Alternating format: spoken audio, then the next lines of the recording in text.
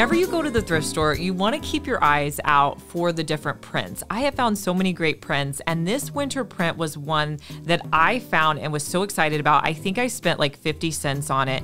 Now, the frame of it is just a little beaten up, and so I wanted to update the frame so it would look nice with my holiday decor. I'm just gonna tape off the glass portion and then I'm gonna paint it with two coats of Waverly White chalk paint.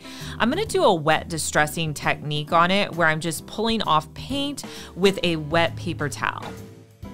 I mean, for 50 cents, it totally updated this picture.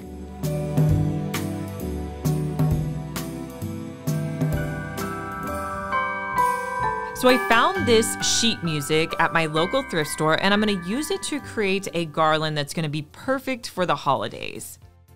I created a banner template out of one of the sheets of music and I'm just going to replicate that by tracing it onto the other music notes.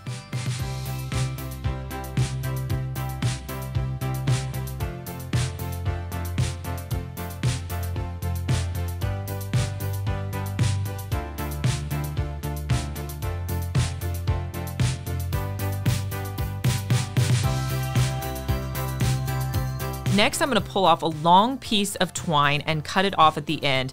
I prefer to make it longer versus shorter, so I always make it a little bit too long. I'm gonna find the center portion of my twine, fold the paper over, and hot glue it in the center.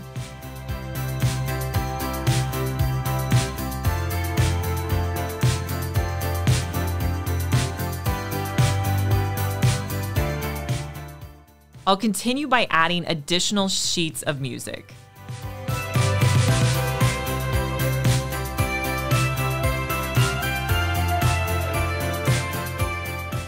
And here's a look at how this simple banner turned out.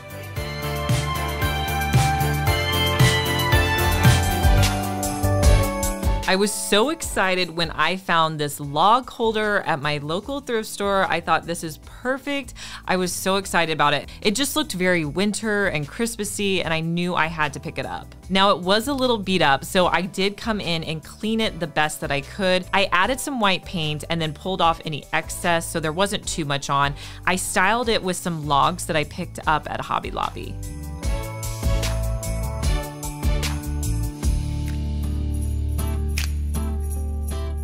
Next up, I'm going to do a little DIY with these spindles. I found these at a garage sale and just thought they were so cool, so cute, and I couldn't pass them up. I didn't know what I was gonna do with them at the time, but I knew I could figure out something. What I ended up doing was actually cutting them in half. I came in with some white paint on the edges just to really bring out the detail. You can see that I'm wiping the paint off because I don't want the paint to be too overpowering in any way.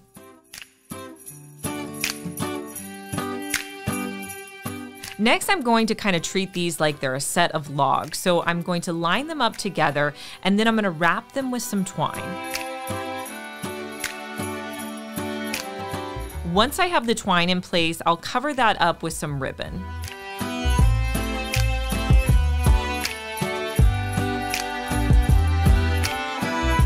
And I'm gonna add in some greenery just to make it look a little bit more festive.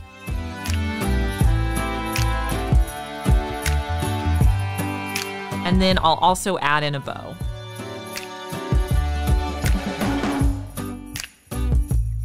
And here's a look at how it turned out.